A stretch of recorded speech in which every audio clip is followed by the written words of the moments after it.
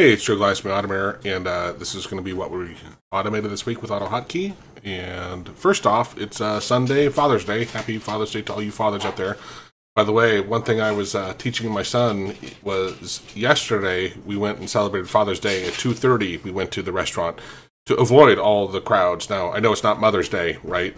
But still, it's just teaching you there's ways to avoid. If you, and you can avoid crowds, right, you save a lot of time. So that was first a quick lesson. But again, happy Father's Day. Let's jump into our actual script.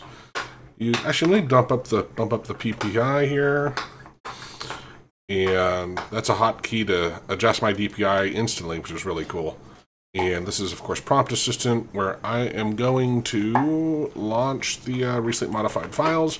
This week, we again focused on very few things. I think maybe next week Rizwan will be back from doing his English lesson stuff also. So anyway, this payroll convert. So we wrote a script for one of our clients that's a accountant and he gets data in a certain structure and they need it in different ways. And so they were manually doing each time. And so we wrote a script for him that just converts it. And then they were not always converting them the same way. And we realized, of course, we need to um, for lack of a better way to say, you know, make, make it dummy proof. Not that they were doing something wrong, but it's easy as a human to forget to do certain things, right? So we added some extra things to it to confirm that the file is in the structure that we expect it to be. So that's another thing we did today. Um, close active programs in Studio. I don't know why I was working on that, um, but oh, I think someone asked if there was an example. So I I had a V1 version and I converted it to V2 for him the CDO sender. Now, this this is the we opened the file from the the version one and converted it. It was actually a really interesting use case where it actually took Isaias and Irfan a fair amount of time to convert it because the COM object they were had to access something in a certain way and it was very particular and made it a little tricky. So they worked through that. We um we discussed it during the hero call the other day of explaining why it was complicated. Anyway, they're now is a CDO sender, which we made into V2 um, somewhere. Maybe it's just this one here. And we changed the name because Gmail, used to be able to get an app password, but they changed it to, um, I forget what it's called. I'm sure someone will put it in the comments. Yeah, they, they changed it to use a certain different way to do it, which we weren't sure how to do that. So if you, this can still work if you have a normal email SMTP email address and account and your password, you can enter that, enter that and send your emails.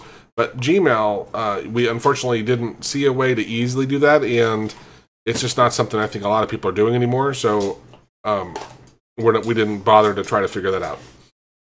Um, trigger class. So this we are when we let me bring over like a a script. Let me bring over my whole taskbar and show you like in Flexifinder or we can use get active path.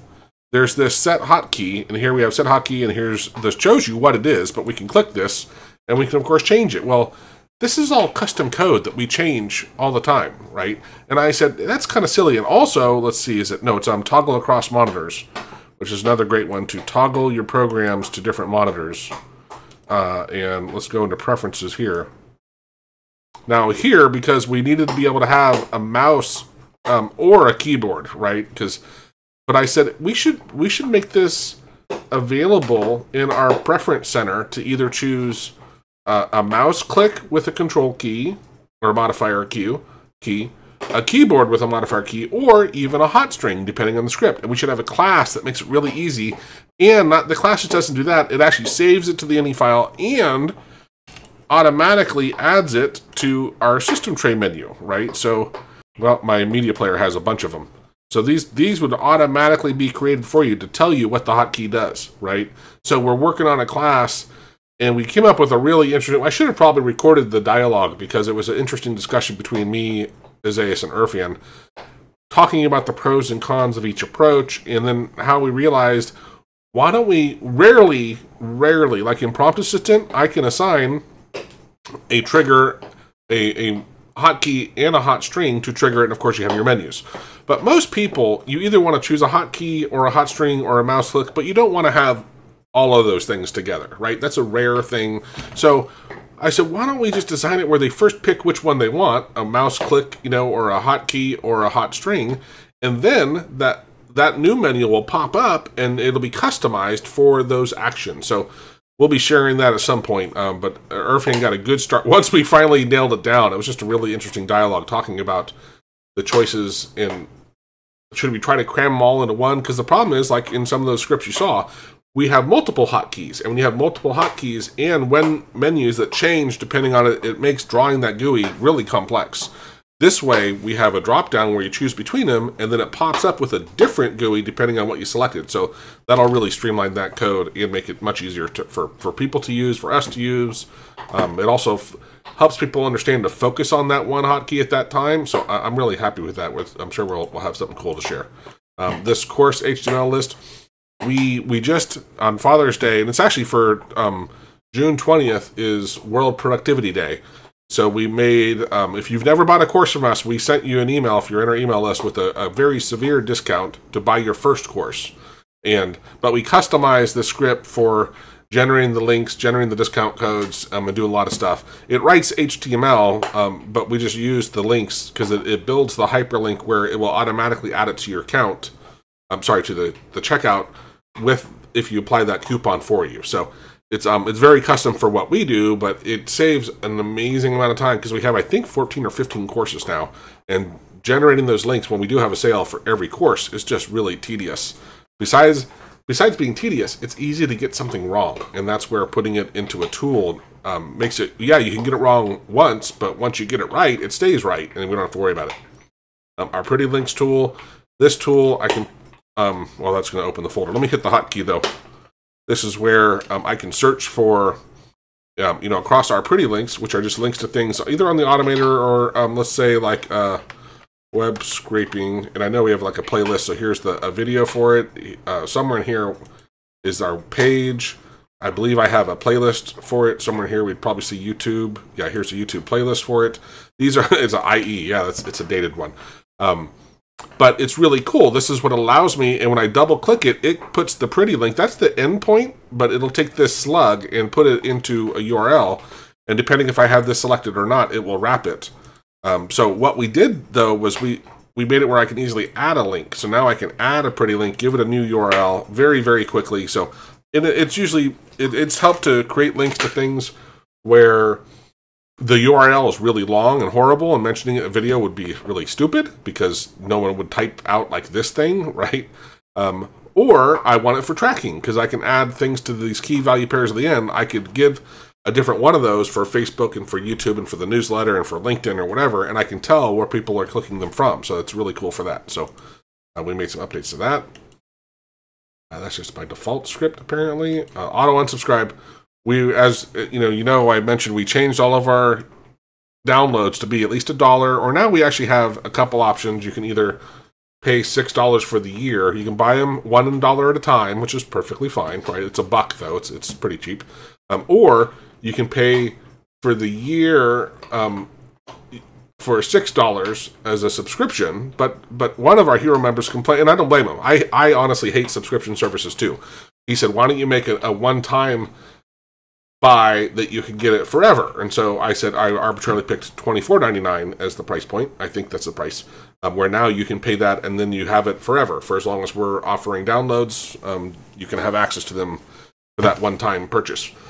And that's mainly there were a couple reasons for that. One though really was to the to get better valid email addresses when people ask to download something because they put in bad email addresses, but they also put in swear words and tell me to f off and a lot of crazy stuff. Um, just stuff that just quite really really rude. Um, so this hey, if you're gonna you can you can be rude if you're gonna give me money. I'm okay with that, but uh, this will help with that. Anyway, um, there was a bonus, I guess. I think we were working on the bonus. This was that newsletter that that's not the newsletter, but the email I just sent out today with the discounts. I first started off; it was going to be a bonus for um, one email to everybody listing every course. But what we did was we looked at all of our courses and said, okay, if no one's ever bought a course, they should probably start with the intro to AutoHotkey, right? If they haven't, if they've bought intro to AutoHotkey, the, the next course would be the intermediate Auto AutoHotkey. So we, we gave them really good discount codes and told them instead of saying, here's, here's our 14 courses you might pick and choose, it's better. It's kind of like, you know, when you go to buy a flavor of jelly at the store and there's 40 options, you get confused and might not even buy anything. But when there's three options, it's very clear and you're like, oh, I want that one, right? That makes it very easy. So we, we gave good advice. We looked at their knowledge level, kind of based off of their past purchases, and made an assessment and said, here's what we're going to give you a deal on. Usually, often we gave them like discounts of that or like the VS code because that's a great course. Um, regardless of kind of your skill level, in V2, if you're using V2, it's kind of really you're, you're kind of forced to use it these days. Uh, but yeah, our script object, we were we were updating a little bit of information in there to have some extra information. Uh, this bar charts, we recorded a video on it. I haven't, don't think I've shared it yet by the time you see this, but it, we use a status bar to create bar simple bar charts. It's really cool. I really have, and it's available both as a function and a class. And it's a, it's also a great one to start playing with it as a function, and then later learn, like maybe take our objects course um, and learn how to use classes and access it as a class. Both have their pros and cons, right? Um, but it's it's very it, it, makes it super easy, so almost anybody can use it. Um, and don't forget, our courses come with a 200% money back guarantee. So whatever you pay for it, if you're not happy with it within the first 30 days, we'll not only refund you what you paid for, but we'll double that. So you got nothing to lose, right? Um, this text to speech, so so it was quite funny. I think I demonstrated last week. This voice access, which is down here, which we spent Irfan's almost all of his time was on that. Um, we can't find a way to trigger programmatically to start. Well, we can trigger the um, be, to turn on voice access, but we can't switch it to command mode. And so I had a, a bad theory, but I I tried it. I didn't tell Irfan. I'm like, I gotta try something.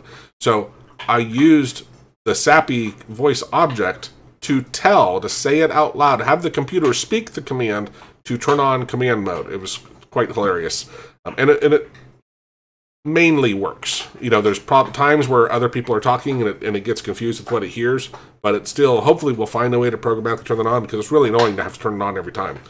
Um, but it, it, yeah, there's that. This um, text under mouse. Oh, this one we were we were also demonstrating some stuff with the GUI test with this text under mouse. I think that was just to show, which should be in this list. If not, it was um, we'll be releasing it in a while of adding some cool stuff like to this resizable GUI as well um, we added some cool stuff to it to allow you to hold down control and zoom in and out on the GUI. And so, but we haven't made a video on that yet. But um, that and also, oh, the con hitting control and having it automatically backspace. Those are things that on an edit control, like you kind of want those by default. So we thought of things that are missing in a normal AutoHotkey GUI and added them. So we should have those in all edits, right? Because you don't want to ever have to hit, hit, Control Backspace and then have it not work. I'm sure everyone here watching this video knows what I'm talking about. And you can create a hotkey to do it, but we wrote one that would be embedded in our in our GUI, so don't have to worry about it. So here, yeah, look all these voice access stuff.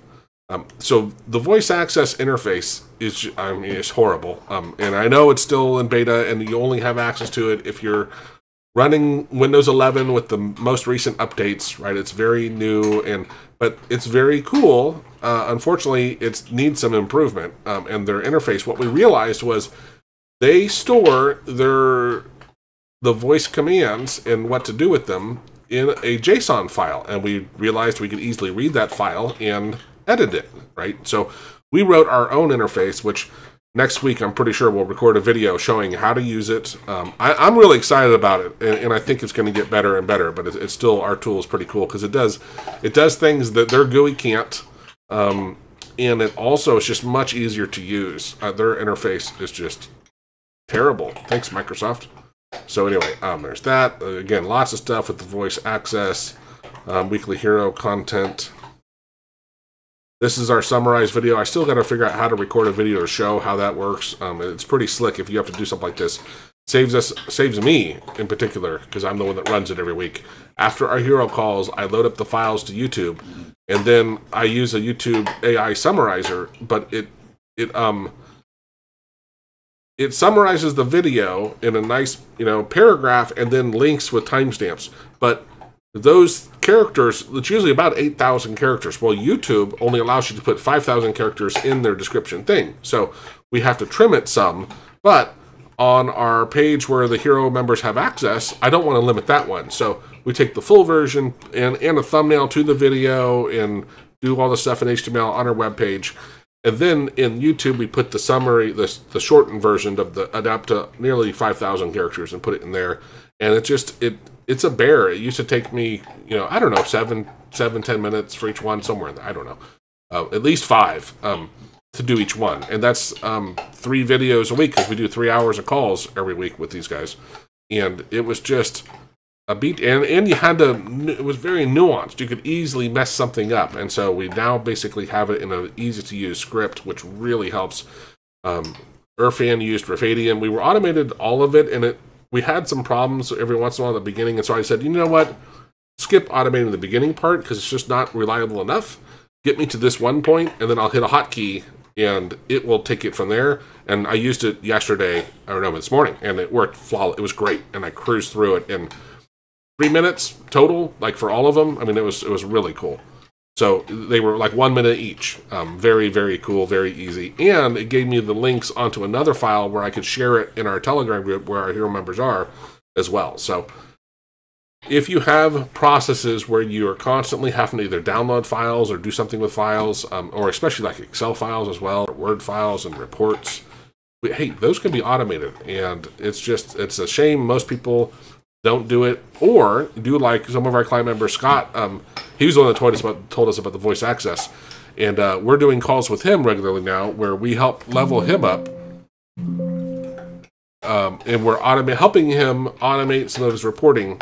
Some of it we do a bit more of, and some of it we're making sure we explain what we do. Like last week, we talked, to, we went deep on API calls with him and explained what they are and how how you know you may or may not want to use them, and sometimes auto, doing web scraping is is the right approach for, instead of doing API calls, even though web scraping is technically an API call. But sometimes it's just a bit easier to um, use the browser. So anyway, I hope you enjoyed that. Please like the video. If you learned something, use that coupon code. You have till June 20th, um, which is, I think, the day this will air. So yeah. But uh, go ahead and use it. It's it's it's especially your first course. It's a very steep discount.